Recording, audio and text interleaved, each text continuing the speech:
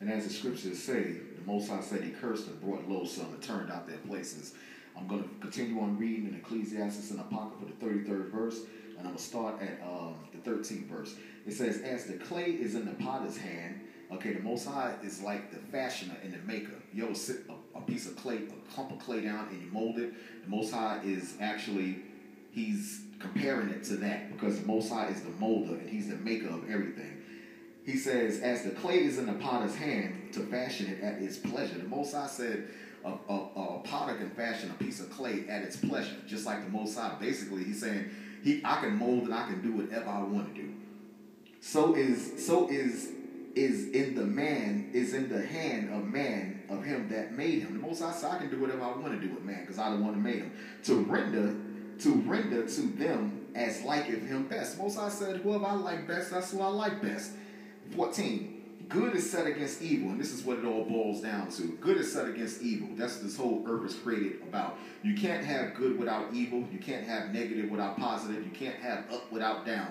A lot of our people don't understand that, and this is, goes to show you. Okay, these old uh, um, uh, pork rind eating uh, Christians in these churches.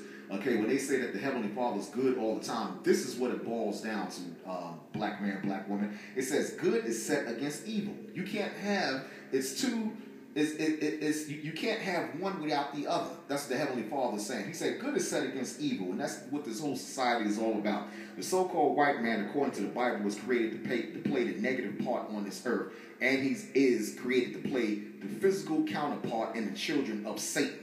That's the reason why they're actually everything this government stands for and white America stands for is adverse and contrary to this Bible right here. You don't got to Google nothing. Just look at your news.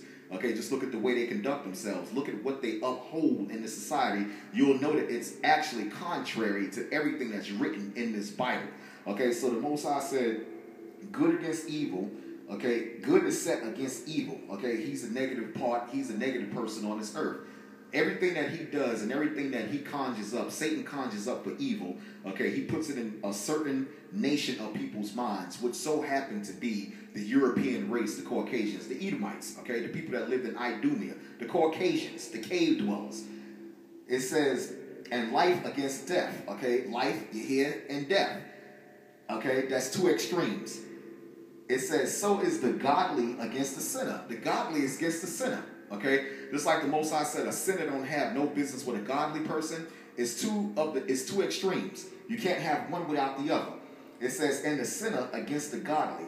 It says, so look upon all the works of the Most High. Look upon all the works of the Most High, the trees, people, the animals, the sea, the sky, the sun, everything. Most High said, look upon the works of the Most High, and there are two and two, one against the other racism. That's inevitably that's going to happen. Most I said you can't have one without the other. That's the reason why when the so-called white man makes these movies out here, that's the reason why he always have what the good guy against the bad guy. He always have the villain, okay, against the good person. It's negative against positive. That's just the way it works. We're now living in the time of a negative society. The so-called white man and children, they are the children of Satan. Okay, that's the reason why this society dwells so much in negative. That's the reason why the society dwells in this forlorn gone. Because every day when you see things that are going against the Bible, that's actually sacrificing to Satan. Okay, when you see people getting killed by eating bad pork, or people getting killed by plane crashes, anything that doesn't have anything that's conducive to this Bible, that's giving power to Satan. Homosexuality, Okay, things that's out here like killing off all the wrong animals, killing off all the wrong trees. There's a certain group and there's a certain amount of trees that you're supposed to kill every year. The so-called white man just kills every damn thing. That's giving more power to Satan. Okay, now I'm going to jump uh, as a result of our integration okay, with these nations. This is exactly what happened. And the Most High knows, and the Most High knows us better than anybody. I'm gonna read the book of First Maccabees 1 and 23. Listen up to this one real good. As a result of us mingling with these nations into integration, okay, this is exactly what happened. First Maccabees 1 and 23. Okay? The Most High said this. He took up, talking about the Europeans and the nations that robbed us, he took up the silver and the gold. They robbed us not only North American Indians, but they also robbed King Solomon's temples as well too. And the precious vessels Also, he took the hidden treasures which he found. All the things that we try to hide from the so-called white man, okay, he found them. That's why during the time of the slave trade and when Columbus came over to the Indians, they were slicing open the women's stomachs, okay, because they knew that the Indians had rather swallowed their gold and their jewelry, okay, because they knew that this bastard was coming to take them. So they would swallow them, okay, in order to hide them from the so-called white man. And during the time of slavery, it was a ritual and a practice, okay, that the Israelites that the servants of the Heavenly Father, the Israelites, the nation of Israel, used to swallow their gold and their diamonds, okay, just so nobody else would have it. That's the reason why most of the time they used to slit the people's stomachs open to try to get the damn jewelry and gold out.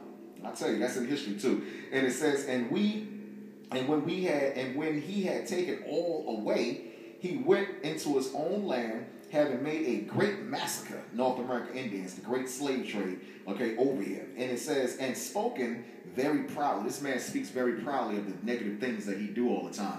During the time of the slave trade, when the slaves was coming over here on the slave ships, it says that the shark population tripled. You want to know why? Because they was throwing over slaves overboard over the ships and feeding the sharks. That's the reason why to today they call the sharks man eaters. Okay, and that's the reason why they became cannibals. They said that when you read upon when you read upon the different ships in the time period during the time of slavery, it tells you that the sharks used to follow. It used to be thousands and thousands of feeding pools of sharks. They used to follow the slave ships just for a freeing frenzy. Okay, because why? Because the so-called white man used to throw slaves overboard. Okay, some of them alive, some of them dead. But for the most part, that was a torture tactic and a scare tactic to show the other slaves to put in us, okay, so we can serve this man at a better rate. It says, um, therefore he was, it says, therefore there was a great mourning in Israel. Therefore, there was a great mourning in Israel because we all mourn because of the things that happened to us. And every place where they were, every place we went in captivity, we always mourn because we was in the hands of the so-called of our enemies, like the Heavenly Father said that was going to be part of the curse. Okay, we was going to go in the hands of our enemy as slaves. So every captivity that we went, even here in America, okay, it says that we are mourning. It says so. It says I'm gonna read it again. Therefore, there was a great mourning in Israel, in every place they, in every place where they were, so that the prince, that the princes, the prince Okay, meaning the males and the elders mourn. Okay, we still mourn in this damn hell that we going through this captivity upon our damn enemies. This is an unlawful, this is a wicked society, man. They thrive on wickedness and they thrive on negative, okay? And our people right up along with the so-called white man and right up along with our enemies doing the same damn thing, okay? We this is more man, when you don't when you're not up under your proper government and when you're not up under your proper laws and statutes and righteousness, you're supposed to be mad as hell, man. Okay?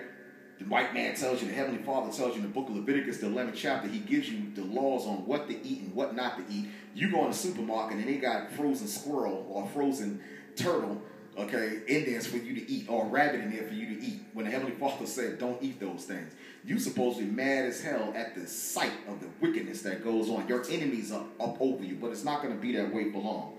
It says, Therefore, there was a great mourning in Israel in every place where they were so that the prince and the elders mourn. Okay, we, we mourning. Okay, and it says the virgins and the young men were made feeble. We made a feeble sight, man, today, man. Okay, no way are we on the length or, or, or, on the length, okay, of how our forefathers was in the past. Solomon and David and Samson. Okay, that's what a true leader does. Okay, a true leader fights up against the society and fights in righteousness according to the Bible. That's the reason why they crucified Christ. Because why? Because he was against the society. That's the reason why they crucified him. Okay, because okay, other than the obvious, okay, why he got crucified because he had to come down here and do a job. But a true leader fights for the injustices of their people according to the Bible. We're not made on the level uh, of our forefathers, man. Okay, that's the reason why the Most High said the young men were made feeble, man. A lot of these old young black uh, uh, uh, uh, young men out here today, man, they see a leaf blowing and they'll, they'll shake. Our enemy come behind you, you run and you'll shake like a punk, man. A lot of you so-called uh, uh, black men and black women out there, you don't even have the you don't you don't even have it in you to look the damn white man square dead in his face when he walk past you, man. That's the reason why you. That's I'm telling you, you Negroes are like slaves, man. Try looking a so-called white man in his face when you go to work tomorrow. Look him square dead in his eye. The average black man is not gonna do that. You know why? Because the Most High said young men were made feeble. You like punks now, man. Okay, whatever master say, whatever master say, and what the master do, okay, goes. That's how you so-called Negroes, Western and Puerto Ricans are. Okay, you have come down to a low state and a low level. Okay, through what? Through your enemies have made sure that way. The black man is a punk today, man. The hell you gonna walk around with your damn pants off your damn stinking behind? Okay, showing your damn butt, man. Okay, that's a damn disgrace. You got our forefathers like Moses and David and Malcolm X and all them guys. Man, you think they died just so a black man can walk around in the ghetto, okay, with his pants off his behind, or get on TV wearing damn heels? You got Negro men now on TV wearing damn heels and damn lipstick and lip gloss and, and talking with their voices uh, uh, uh, higher than a damn woman, man. That's a damn disgrace.